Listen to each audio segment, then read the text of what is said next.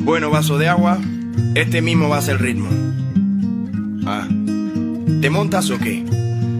Dos vasos por la mañana justo después de despertar. Activa órganos internos, ahí. Ya los pone a trabajar. 30 minutos antes de comer un vaso de agua hay que beber. La digestión facilitamos de lo que tú comiste ayer. Y dice, ocho vasos al día.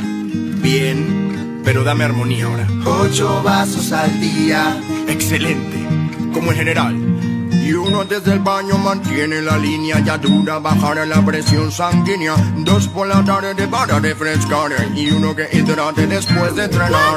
Un gran vaso antes de ir a la cama, bébelo cuando ya estés en pijama. Va reduciéndote la tensión, evita infartos y ataca el corazón. Ocho vasos al día es lo que tienes que beber.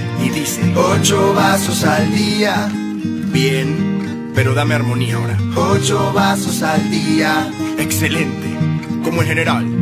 Y uno desde el baño mantiene la línea ya dura, bajar la presión sanguínea. Dos por la tarde para refrescar y uno que hidrate después de entrenar. Un gran vaso antes de ir a la cama, bébelo cuando ya estés en pijama. Va reduciéndote la tensión, evita infartos y ataca el corazón. Ocho vasos al día es lo que tienes que beber y dice ocho vasos al día, tu cuerpo lo va a agradecer y todo bien.